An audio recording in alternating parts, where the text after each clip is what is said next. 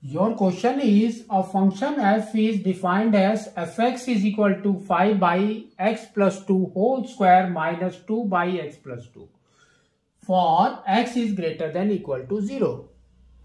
Find an expression for f dash x and determine f is increasing, decreasing or neither.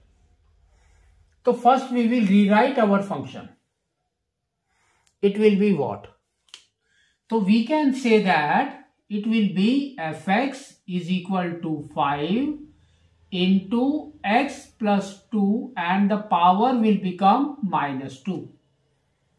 Minus 2 and here x plus 2 and power will become minus 1. So this is our function. Now we have to go for differentiation of this. That is f dash x. How? So we can say f dash x is equal to 5 d by dx of chain rule by chain rule of x plus 2 into d by dx of x plus 2 and power is minus 2. Same here also we have to do minus 2 d by dx of x plus 2 and now into d by dx of x plus 2 and power will become minus 1.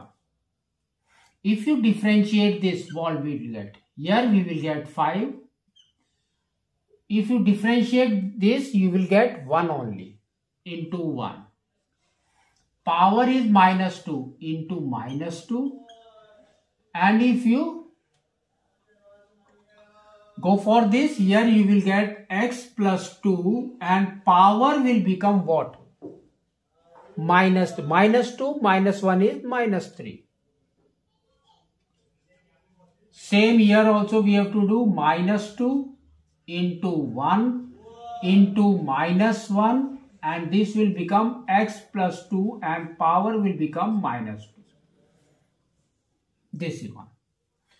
So this is nothing but minus 10 and this will come down as x plus 2 whole cube and this will be plus 2 and this will come down as x plus 2 whole square so this is the differentiation of that. They have told this is greater than 0. They have told. So first we have to find out the factors of this. How? By taking this is equal to 0. Now, so here you can see we can take the LCM of that. Now the LCM will become like this. That is your x plus 2 whole cube. So now this will become minus 10 plus 2 into x plus 2. That is equal to 0. So now if you cross multiply it, you will get 0 here. So that means we have to solve this. So this will be nothing but 2x plus 2 into 2 is 4 minus 10. That is equal to 0. Now, so here 2x is equal to, we can say it's 6. 6. So x is equal to 6 by 2. That is equal to 3. So now we will draw a number line. A number line.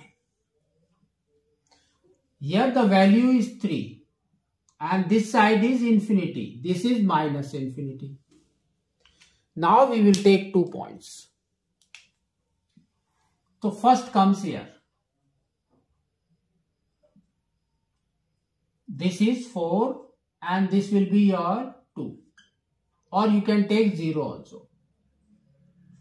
Now now if you see, we have to substitute these two value where? we have to substitute this value here. So this is nothing but what? 2x minus 6, it should be greater than equal to 0. Like this. Now, substitute 0. So we will get minus 6. So minus 6 is greater than equal to 0? No, it's false. So we can write here false. Next substitute this value 4. So here we will get 8 is greater than equal to 0 and 8 minus 6 is greater than equal to 0. So now we can say 2 is greater than equal to 0. So it is also, it is true in one instance. So we can say is true. So here if you see here, so here 3 is there only a single point. At one side it is decreasing, another side it is increasing. So therefore we can say fx is neither of them. Neither increasing nor decreasing.